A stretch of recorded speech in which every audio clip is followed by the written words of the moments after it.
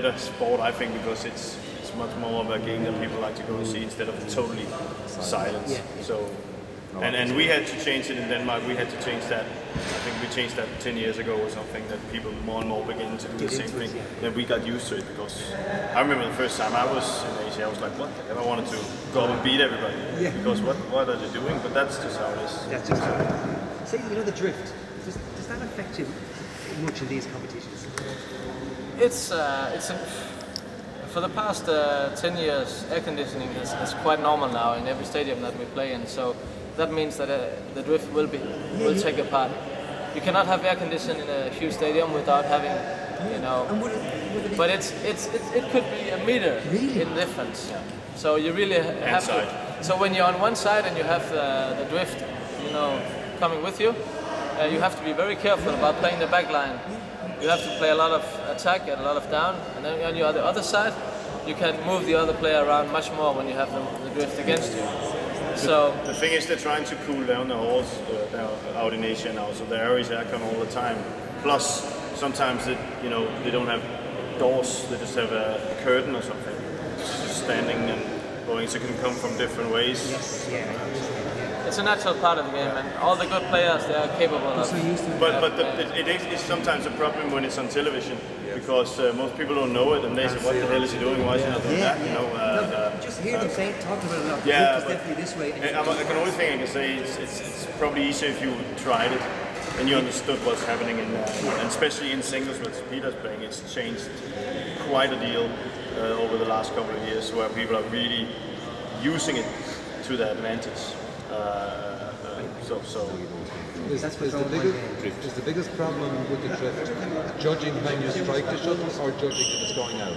no no it's No, not so much. No, it's, no, it's not more so the big picture. It's more like if I'm if I'm he- if I'm uh, if the wind is against me and Lauge is on the other side and I have the drift against me, then I can move him around the court. There's no I don't have to be careful playing the back line.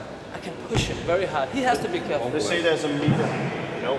That means you can just push it down there without. He knows it's not going to go out.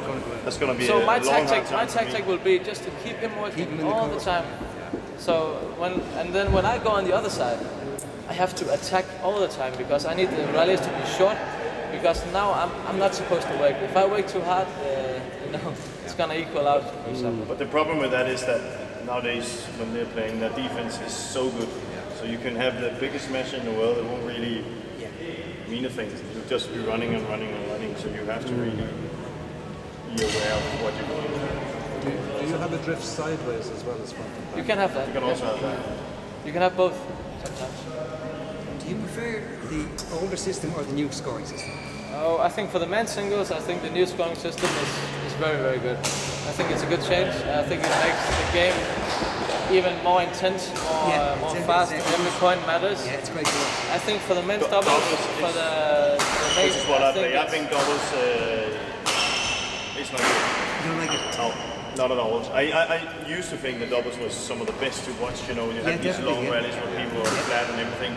Nowadays, uh, uh, a normal rally is three times over the net and it's over. It's not even. Most of it would be serve and return. Seven or three.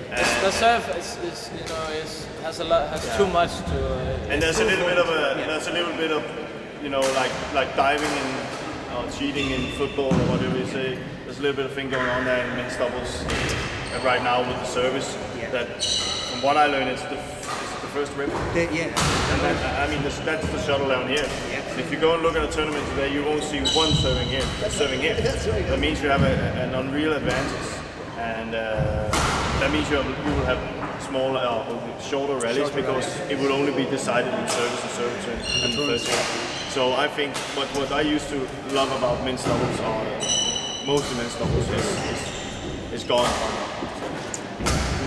So I don't like it. In, and for, I sing, for think- singles, it's good. I think for the singles, it's very good. It's it's very intense to watch the game. Oh, it's fantastic. So You won't have these uh, these 80 clears uh, that Frost and these guys used to do. Uh, they, they, they won't be there because they, they won't have the patience to do that, and it would be Look more explosive. there would be too much to win to try and put on the floor.